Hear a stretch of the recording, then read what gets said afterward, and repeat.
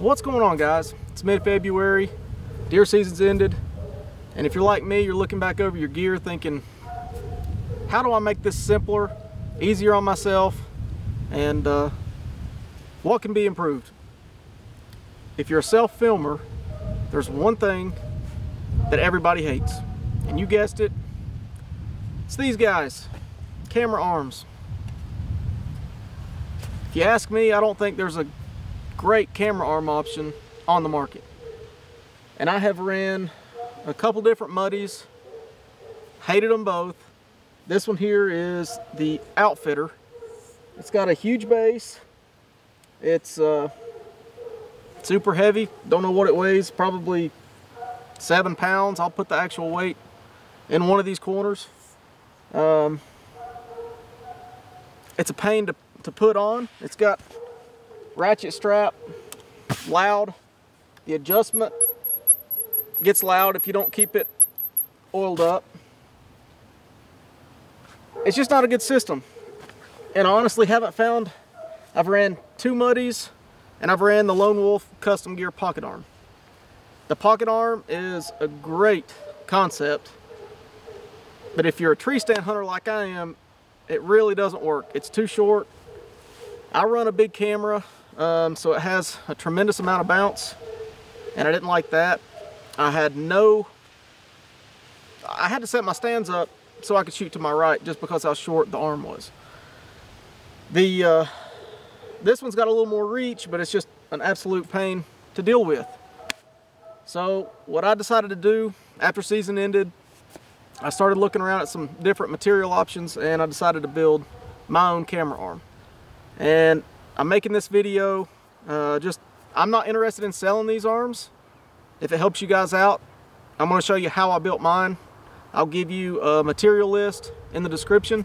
So if you want to build your own arm, hey man, I'm here to help. And uh, if you have any questions, you know, shoot them to me in the comments and I'll be happy to answer them.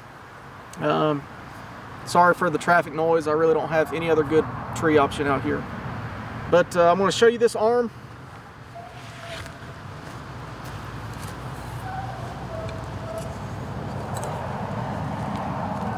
basically what I wanted was an arm that operated similar to the Lone Wolf Custom Gear arm. But this one is a lot bigger. It doesn't weigh a tremendous amount more. It's a pound heavier than the Lone Wolf arm. But it's got about 37 inches of total reach, which the first thing that's gonna happen when you start self-filming, you're gonna have a shot straight to your back left. And with most camera arms, you're maneuvering, trying to get behind your back, and it's just a pain. I mean, it's an absolute pain. So I built this arm for myself, and then uh, Dalton over at the Stick Boys saw mine, and he said, hey, build, build us a couple. Um, so I'm building them a couple right now, and uh, just wanted to show you guys how it works. There's There's no ratchet belt. I just use a, a Lone Wolf XOP type strap. And I'll show you how it goes on. Let me get rid of this junky thing here.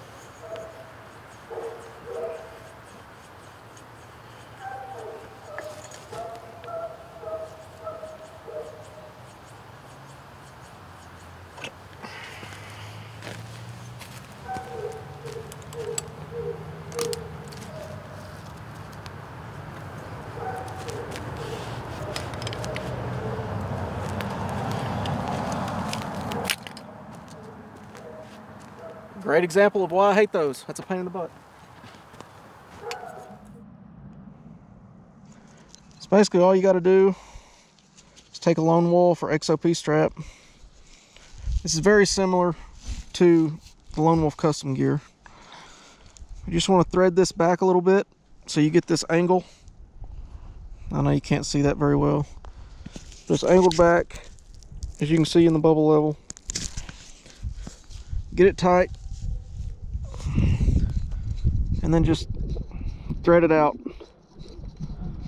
And the most important part when you're building these, for one, get, get all your holes good and straight with a drill press.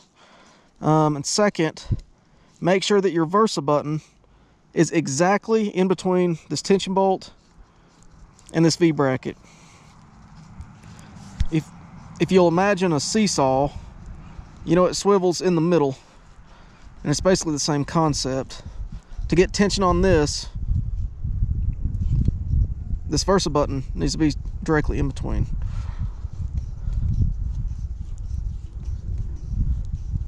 And once you get this level, which is pretty level now, that thing is rock solid.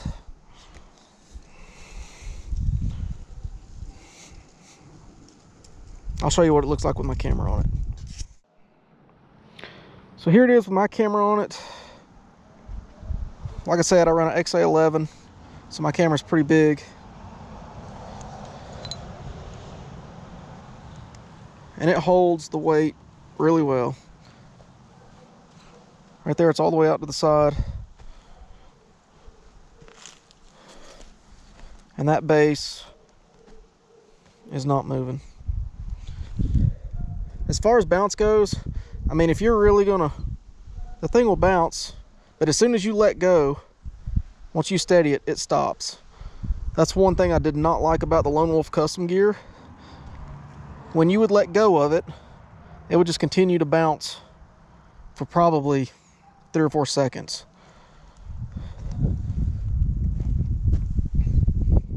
This one here's got plenty of reach.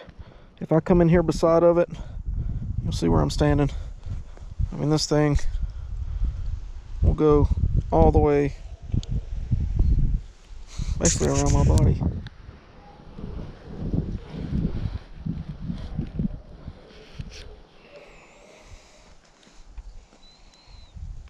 So there it is.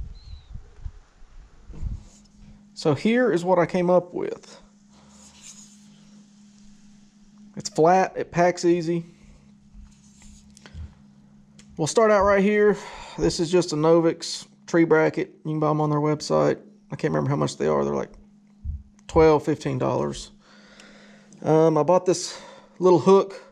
I had to buy it in like a 5 or 10 pack to get what I wanted. But that's to uh, put my pack on. This right here is a one inch solid aluminum tube. Um, got that on Amazon. I had to buy it on in a three pack. Uh, couldn't buy individuals. And then this right here is um, a six inch carriage bolt, 5 16ths. And then I bought this knob at Lowe's too. These right here you can get uh, on Amazon also. When you're drilling your holes, it's really important use a drill press because there's absolutely no way that you're going to be able to drill the hole straight by hand. Um, everything I've got now this right here is threaded.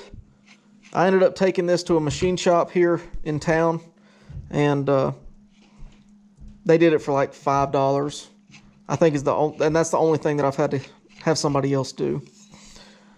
But these right here, um, this first one is 14 inches. The second one's 12. And the third one is 10 and a half inches. And that's just so everything fits together really nice and gets clearance everywhere. And this is just uh, one inch square aluminum tubing. I got it at a local hardware store. Um, that shows you right there. But uh, I got 48 inches. I got one stick, and, and that's all I needed.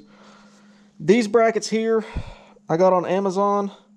Um, again, I had to buy like a 10 pack to get what I needed. And I had to bring it out away from the tube just so that will move without binding up. And how I did that, I just put um, three washers to space that out. Um, what else? Let's see. Okay, the Versa button, I just use a quarter inch bolt. Uh, it's got a steel one inch spacer with a one and a quarter inch uh, fender washer. The uh, these bolts here are 3 eighths.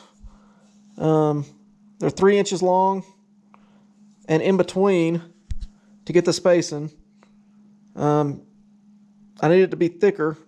So this bolt head would be free. So I've got two nylon fender washers and then one nylon spacer. And you'll need to do that twice. And those came from Lowe's also. And then I put these caps on. You can get these at Lowe's or any hardware store. You can get them on Amazon, wherever. On the end, I use a Manfrotto head. Um, this is the one I use. And it's got a 3 8 bolt hole. So, in the end of that, I basically just put a one and a quarter inch 3 8 bolt, used a lock washer and a nut, and that way you can just thread that Manfrotto head right on top of it. I'm sure it'll work with. You just have to look at your your head and see what size the hole is um, to know what size bolt that you need to use. But all in all, I'm really I'm happy with this camera arm. So as I said earlier, I am not interested at all in selling these. I just wanted to make this video to help anybody else out uh, that's having the same problems as I am. And if you're self-filming, I'm sure you're having the same problems. There just isn't a good arm on the market. And uh, I made this arm to solve the problems that I had. If this is helpful to you guys at all, I'd really appreciate it. You hit that subscribe button and uh, be on the lookout for, for more content coming soon. And uh, hope you enjoy it. And I hope this is a, a big help to somebody else. I'll see you guys on the next one.